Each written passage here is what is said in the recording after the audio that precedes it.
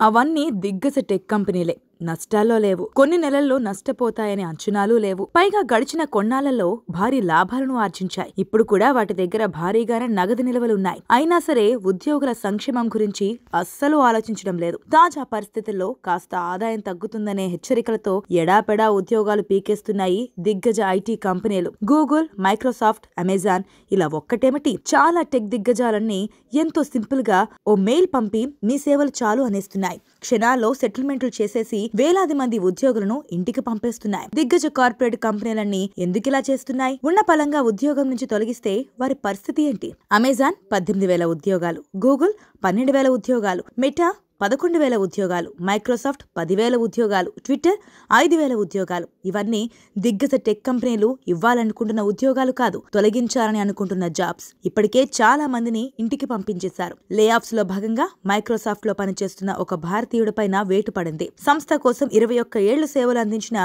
ప్రశాంత్ కమానికి చివరికి దక్కిన బహుమానం ఇది. ఉద్యోగం నుంచి తొలగించాక అతను సోషల్ మీడియాలో షేర్ చేసిన ఒక పోస్ట్ ఇప్పుడు ట్రెండ్ అవుతోంది. అందులో అతను రాసిన విషయాలు ఉద్యోగులందరి పరిస్థితులను కళ్ళకు కడుతున్నాయి.